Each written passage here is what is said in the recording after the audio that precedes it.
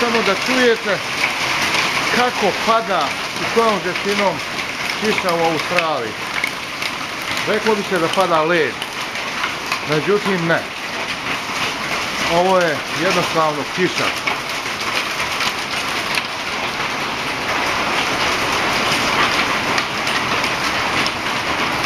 Evo pokažu gore da su kapljice kiše.